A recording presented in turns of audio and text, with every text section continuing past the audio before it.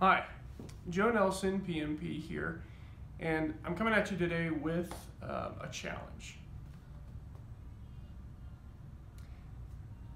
Unless you can prove it, your project has failed. I'm pretty confident about that. Um, not during the project only, but even after the project. It's almost like you are um, a prosecutor and you have to prove this um, or the defender, and you have to present evidence to say that my project is succeeding or has succeeded, and here's why.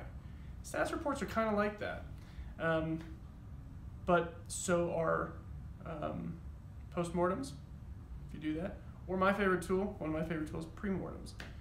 So anyway, your project failed. Prove me wrong. That's a challenge because you need to prove that. I can think of a lot of times where um, I thought a project was going well, but when I looked at the facts, black and white on paper, it wasn't so. Um, which is just a good gut check. So unless you can prove it, it's probably not happening. So don't get delusional. but Don't get challenged as well.